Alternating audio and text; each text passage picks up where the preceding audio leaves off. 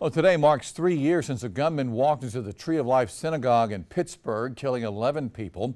Police say the shooter went into the synagogue yelling anti-Semitic slurs and shooting at worshipers.